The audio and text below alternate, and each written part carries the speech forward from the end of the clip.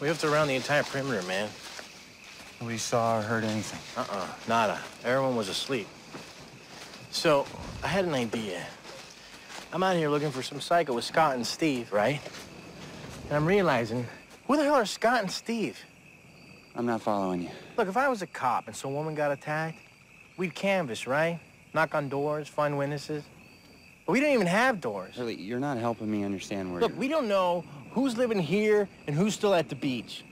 I mean, we didn't even know each other. My name isn't Hurley. It's Hugo Reyes.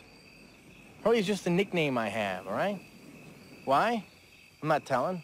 The point is, we gotta find out who everyone is. You want to start a census. Yeah, registry, you know, names, what people look like, who's related to who. I mean, we start laying down the law, maybe people stop attacking each other. It seems like someone's getting punched or stabbed or something every other day here. We gotta find out who did this to her.